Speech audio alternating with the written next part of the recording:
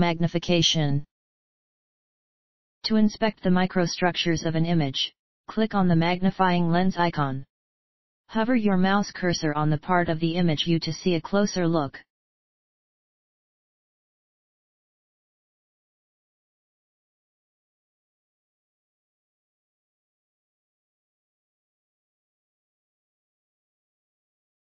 To disable the magnifying glass function, just right-click.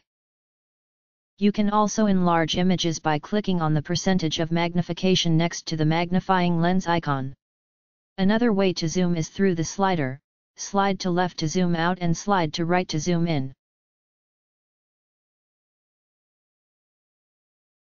You can also enlarge or maximize a window or frame.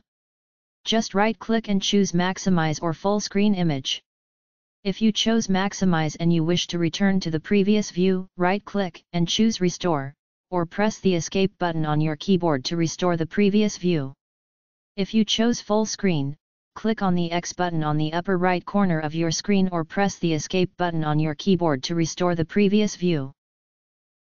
You can also adjust the window size per frame by dragging the lines between your images.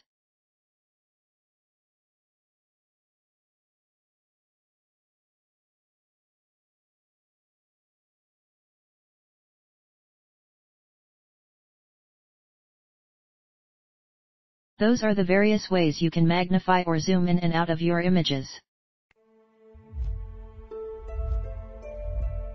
Insight Diagnostics